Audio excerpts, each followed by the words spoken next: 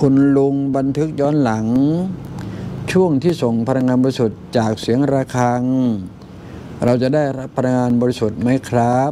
ตอบเลยนะครับได้ แต่มันไม่ใช่ real time เข้า real time คือวินาทีนี้อ่าไอ้ที่มันใส่อยู่ใน YouTube เนี่ยมันก็ได้ ถ้าคิดเป็นเปอร์เซ็นต์เนาะไอ้ YouTube นั่นแหละเอาสักเจ็ดสิบได้ไหม เจ็ดสิบห้าได้ไหมเพราะมันต่างกันที่เวลาไอ้ความจริงก็ทำใจไปตามนั้นนะอยู่ในบทบาทอยู่ในภาวะเวลา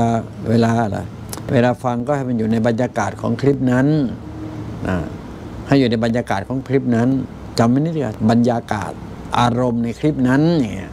โอเคไหมแล้วจะจะได้จะได้ง่าย ปล่อยอารมณ์ให้เป็นไปตาม คำที่ลุงหงอกเล่าอะไรต่างสุดแต่แต่ในคลิป แต่ละคลิปแต่ละคลิปนั่นน่ะนั่นแหละให้อยู่ในอารมณ์นั้น แล้วมันจะได้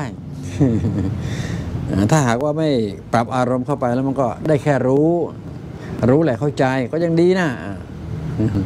แต่คำว่าเข้าถึงก็ต้องพยายามปรับอารมณ์ให้มันเข้าไป มันจะมันจะมันจะนำพาเองครับแล้วผมจะรู้จังหวะนี้ให้นะครับ จะนำพาเข้าไปเองนะฮะ